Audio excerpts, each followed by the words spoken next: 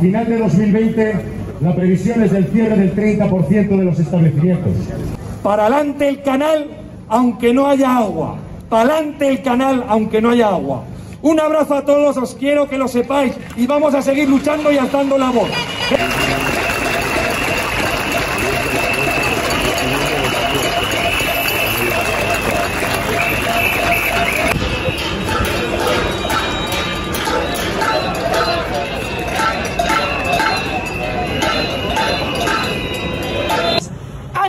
Fuerza para todos. Nuestra lucha tendrá nuestra recompensa, que no es otra que nos permitan trabajar.